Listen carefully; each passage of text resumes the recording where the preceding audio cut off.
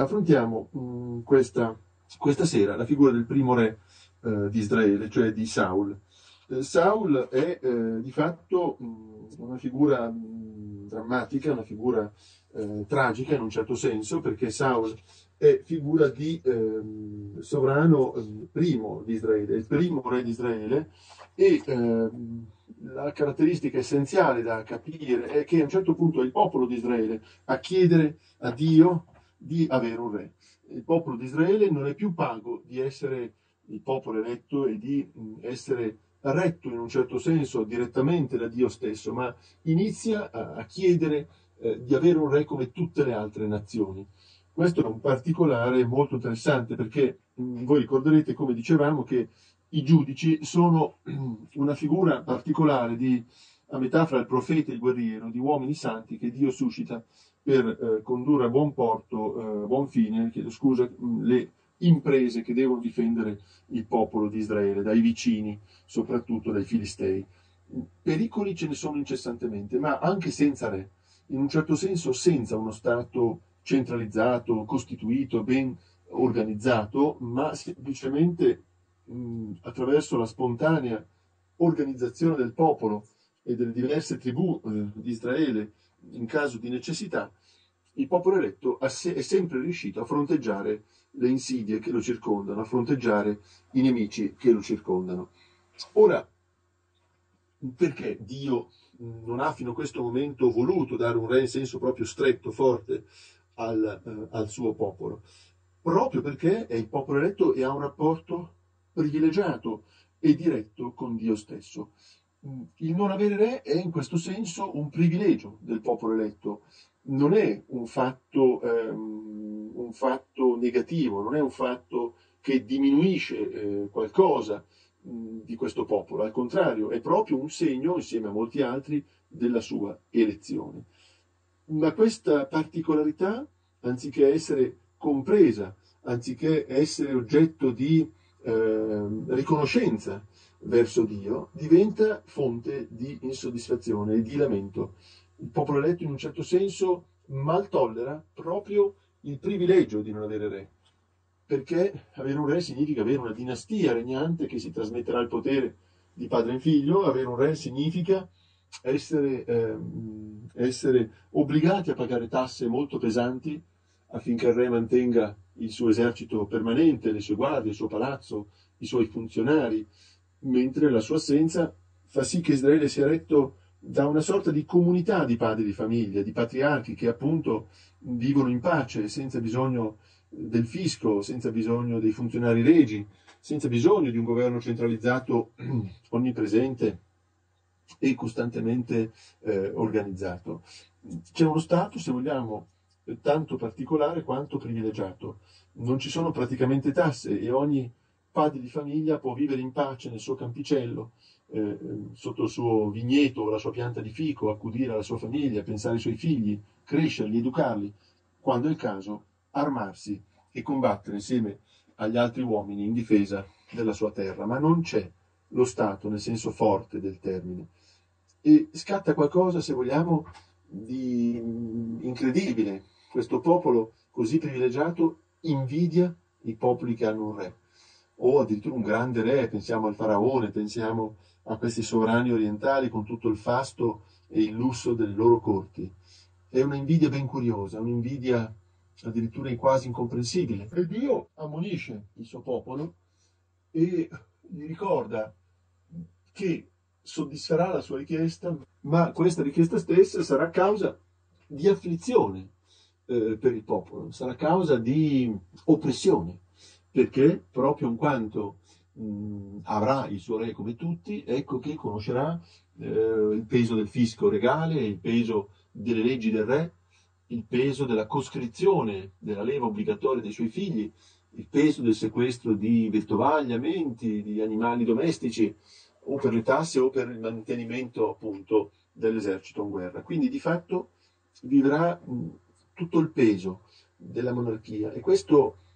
è veramente interessante, questo paradosso che ho appena cercato di evocare e di descrivere, perché in fondo, proprio in virtù della grande analogia che governa il rapporto fra popolo di Israele prima della venuta di Cristo e Chiesa cattolica, eh, comunità cristiana dopo la venuta di Cristo, in base a questa analogia possiamo dire che è tentazione in fondo perenne, eterna dei cristiani, anche oggi, forse soprattutto oggi, dei cristiani, del clero, della Chiesa come istituzione, provare una specie di sudditanza verso il mondo, di, se non invidia, desiderio di emularlo, a volte anche in cose che magari non sono così positive. Ogni cristiano, ogni singolo cristiano, come piccola parte, piccola cellula del corpo mistico di Cristo, vive la stessa tentazione, una sorta di sguardo invidioso assurdamente sul mondo e addirittura a volte sui suoi vizi, mentre il cristiano dovrebbe essere pago di essere ciò che è, eh, dell'amore di Dio per lui e non andare a invidiare nessuno per il suo stato di vita, perché questo stato di vita, se è senza Dio, è infelice e quindi non, ha, non merita di essere, di essere invidiato. Invece, come alla Chiesa eh, e al singolo cristiano, succederà di provare una specie di vergogna di sé e quasi desiderio di conformarsi al mondo, questa è una tentazione terribile, come al singolo uomo, al singolo uomo può succedere di cadere in questa aridità spirituale, in questa invidia quasi per coloro che non sono cristiani, così gli stessi sentimenti li hanno vissuti cioè, gli antichi ebrei, li ha vissuti il popolo eletto che ha come calpestato la sua elezione e ha avuto nostalgia di essere come gli altri stati, come tutti gli altri regni che hanno appunto un re. Ecco, sulla base di queste premesse dobbiamo notare come il primo re, il re che Dio appunto nomina, vuole eh, dare a Israele, è appunto il re Saul. Saul eh, è una figura biblica così importante, essendo il primo re, da essere, eh, diciamo, assurdo quasi a valore di simbolo universale, la sua follia, la sua mania omicida, la sua invidia verso Davide, la sua gelosia della sua grazia, delle sue capacità. Ecco, è una figura appunto, come dicevo, veramente tragica. Direi una delle più tragiche perché vedremo che anche la sua morte è tutto fuorché, diciamo, corretta dal punto di vista di uno sguardo di fede. Quindi è una figura controversa, eh, importante, è il primo re. È il primo re, Dio lo sceglie e invia il profeta Samuele a ungerlo con l'olio santo e così avviene e questo straordinario giovane che ha una corporatura tra l'altro possente che lo fa sembrare più alto e più grande dell'età che, che, diciamo, che ha, questo uomo appunto in particolare molto alto, si distingue nel testo biblico per la sua altezza, diventa il primo, il primo re di Israele. E la figura di Saul, eh, che è ovviamente una figura molto ricca, è una figura, diciamo, particolare, perché ben presto eh, entra in contatto con il giovane Davide, che è un pastore, in sostanza, già scelto da Dio per compiere grandi opere. Vi è il famosissimo episodio dello scontro con, eh, con il Filisteo, con Golia che lo insulta, insulta il popolo ebraico e Davide, questo appunto leone, eh, assalta e uccide eh, Golia. Lo decapita, ne eh, prende le armi come trofei e si impone all'attenzione di tutti come salvatore, salvatore diciamo di Israele. Quindi questo Golia, questo uomo gigantesco, di un'antica stirpe di giganti che fino a pochissimi eh, decenni fa era appunto accettata come dato storico effettivo. Ebbene, questa stirpe di giganti viene debellata e non è una stirpe qualsiasi, ma è una stirpe, in un certo senso potremmo definirla quasi mh, satanica, una stirpe terribile, tanto che Davide richiama severamente questo filisteo facendogli notare che eh, eh, diciamo, vivendo tutta l'umiliazione delle sue provocazioni. I due eserciti, quello ebreo e quello filisteo, sono schierati nel campo di battaglia e per molti giorni questo eh, esercito di Re Saul eh, si trova di fronte all'esercito filisteo e non riesce a dare battaglia perché viene umiliato, provocato da, ehm, da questo gigante che chiede una sfida che nessuno fra gli ebrei ha il coraggio di fare. E questo episodio famosissimo, che appunto è un episodio anche storico, eh, è il primo atto che rivela eh, la figura di Davide. Quindi Saul dalla sconfitta di Golia ad opera di Davide, vorrà Davide sempre vicino a sé, ma nello stesso tempo, mentre lo ama, anche in qualche modo inizia a odiarlo e eh, la figura chiave sul piano morale, emotivo, spirituale di Saul è proprio il conflitto eh, che ha con Davide e la invidia eh, cattiva, micidiale, spinta fino all'uccisione potenziale della persona che odia, eh, l'invidia verso appunto Davide. Questa è la cifra della vita di Saul, lo scontro con Davide, il, gio- il giovinetto che intuisce che mh, mm, sarà colui che prenderà il suo trono. Ecco, quindi la figura di Saul, la figura del primo re, è una figura che ha come cifra essenziale, eh, a partire dall'episodio che ho appena descritto, eh, l'invidia eh, verso, verso, Davide,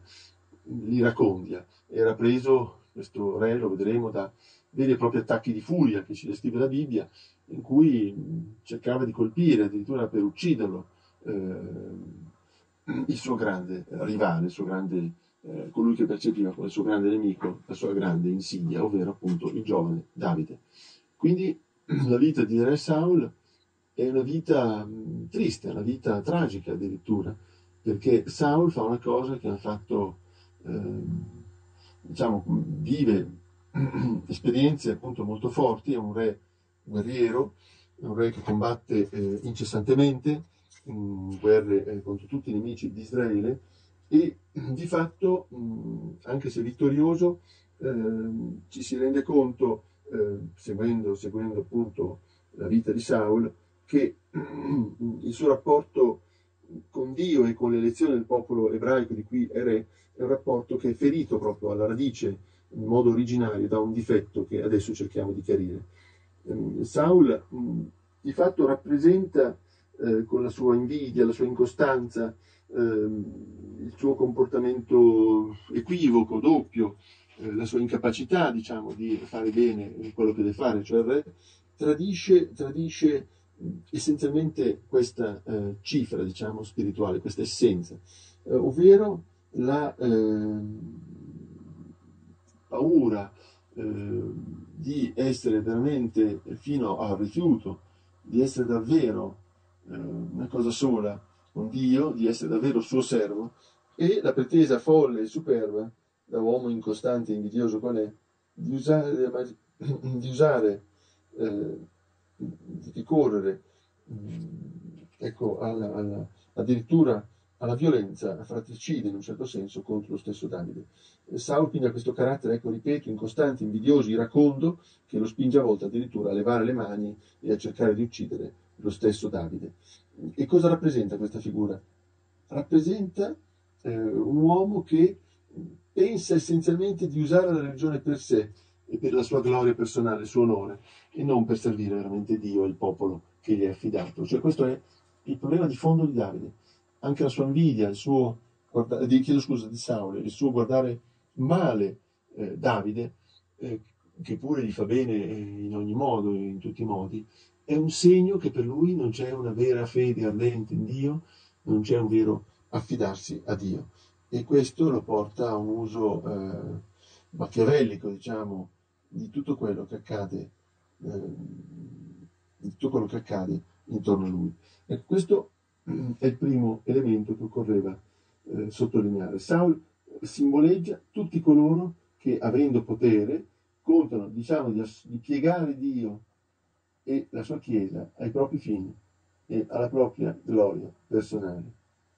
considerando mh, mm, ogni altro fine secondario rispetto a questo fine supremo che dà eh, al nostro Stato. Ecco, mm, in fondo la esemplarità purtroppo negativa di Saul, che vuole usare la religione, non ha una fede vera e sincera, ci rappresenta tutti, o meglio rappresenta tutti coloro che mh, mm, eh, contano di assoggettare Dio alla sua Chiesa e ai propri fini e alla diffusione, nostre, alla diffusione eh, del proprio potere, della propria gloria, all'aumento della propria, della propria gloria. a questo punto, se, come fa Saul, non c'è vero zelo religioso nel pieno oblio di sé, ma c'è una specie di calcolo eh, orrendo su come e quanto l'uso della religione può, diciamo, eh, rovesciarsi a favore della propria gloria e del proprio potere, questo punto Saul viene riprovato, eh, viene riprovato perché appunto mh, se ehm, operasse come abbiamo detto, cioè operasse veramente in vista solo della gloria di Dio, ecco che allora le cose eh, cambierebbero molto. Quello che il testo biblico ci mostra in queste due pagine è molto interessante perché si capisce in modo perfetto, trasparente, come se l'uomo si converte, Dio torna a dare le sue eh, benedizioni. Se l'uomo si convertisse, anche se Saul si convertisse, tutto tornerebbe a posto. Invece vedremo che la fine di Saul è una fine tragica proprio perché eh, non riesce, nonostante moltissimi segni in proposito, a liberarsi di questa cupidiglia, di questo desiderio di gloria, di onore e di, prima, di primato che lo porta a eh, cercare di fare l'impossibile, cioè piegare la Chiesa e distruggere in un certo senso la Chiesa intesa come popolo eletto e assoggettarne la presenza e il ruolo al suo servizio. È come se pensasse la religione come una sorta di instrumentum regni, cioè uno strumento di potere machiavellico che va usato allo stesso modo eh, verso tutti. Questo atteggiamento di Saul fa sì che la sventura si abbatta su di lui. Eh, quando assedia una città,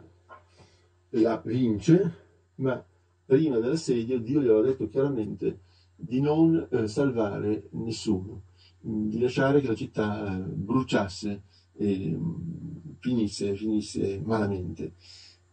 Il Saul assedia questa città nemica, la sconfigge, anziché spogliarla di tutto ciò che è prezioso e poi eh, lasciare che appunto la città venga, anziché bruciarla, ecco, eh, come Dio gli ordina, sogna di eh, sequestrare almeno i prodotti più prestigiosi, le cose più di valore, per offrirle a Dio. Quindi prende questa città, come Dio gli ha ordinato, Saul è anche appunto re guerriero, sempre in guerra, ma Dio gli ordina di non toccare un solo oggetto, di bruciarla per cancellarne anche la memoria. E Saul va in battaglia, conquista la città, ma dopo averla conquistata non ha la forza di obbedire a Dio e di lasciargli molti ampi commenti a ciò che fa. Ecco che quindi vinta la città non fa quanto doveva, non la brucia senza fare bottino, ma si porta, porta con sé parte del bottino. E lo scopo di questa, di questa violazione dell'ordine divino è fare dei sacrifici più grandiosi, perché con tutti gli animali che ha preso dalla città,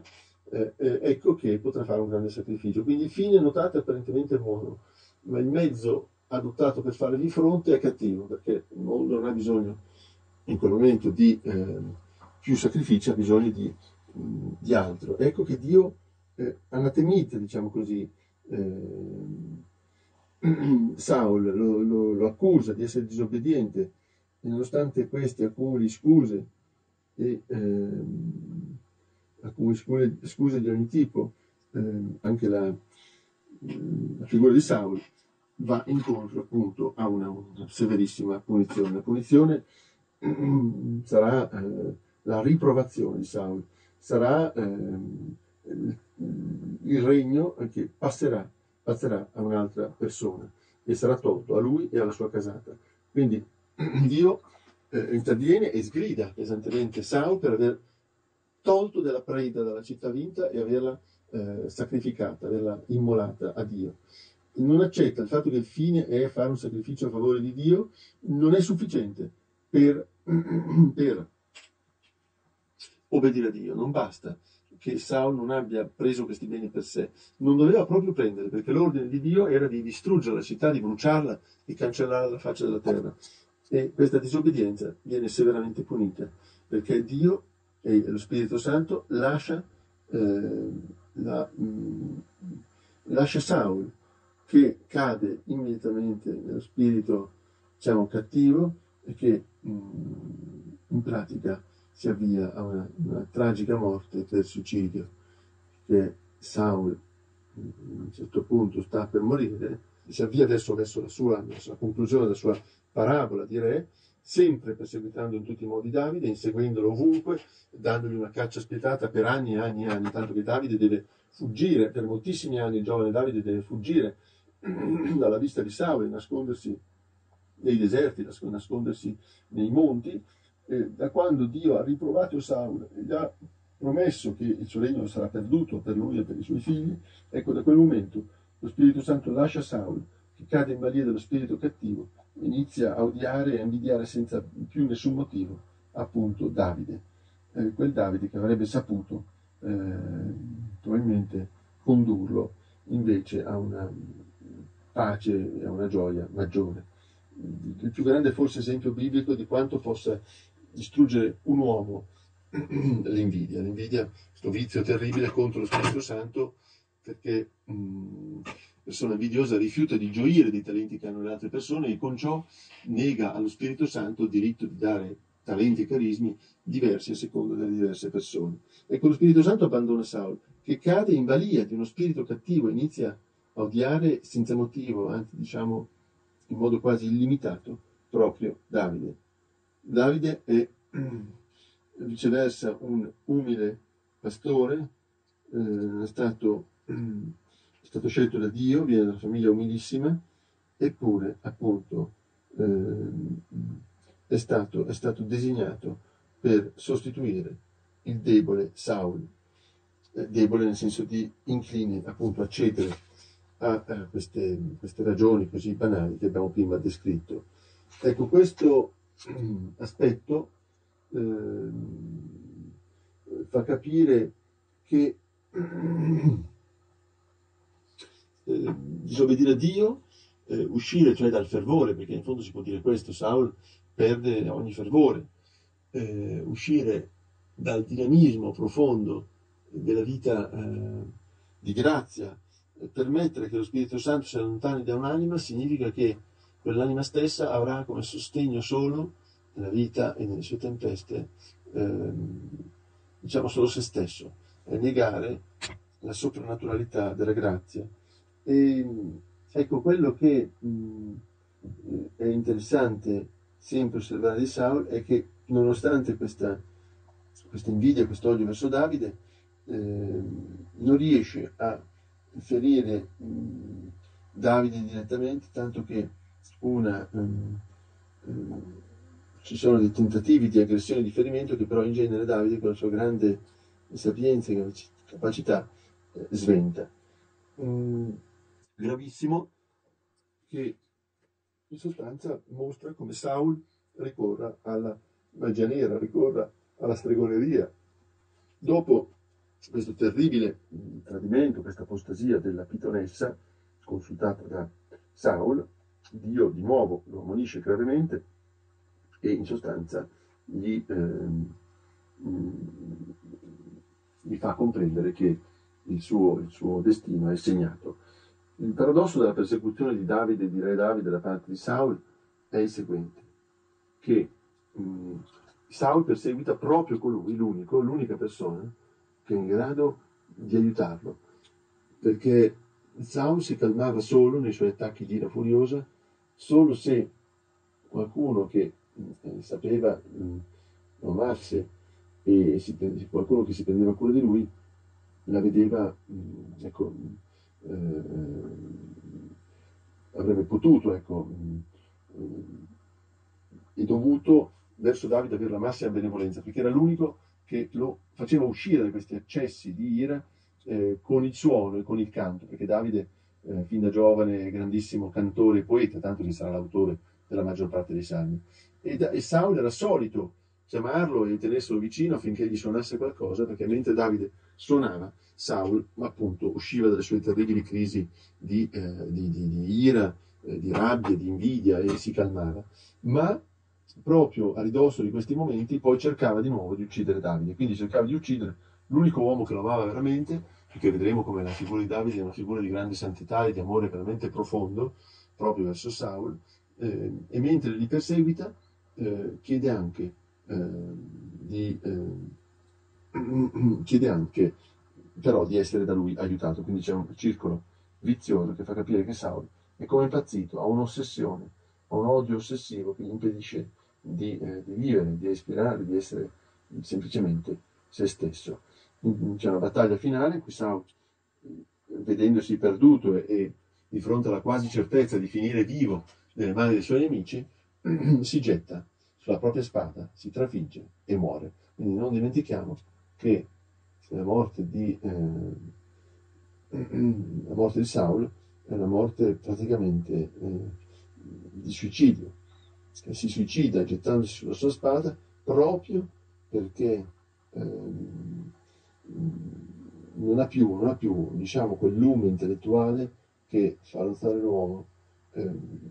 fino in fondo e di fronte al rischio di essere catturato si, si uccide. E questa morte tragica di Saul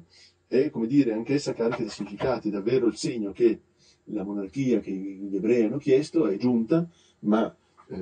di fatto nasce in un certo senso già ferita, e lo dimostrano sia la vita folle di Saul, sia la sua morte altrettanto folle e tragica, sia la vita della maggior parte eh, dei futuri, dei futuri cristiani. Cioè, di fatto, la monarchia ben presto, passato qualche re, inizierà a essere una forza, una tensione grave, eh, pericolosa, e vedremo pian pianino le varie tappe in cui si dispiega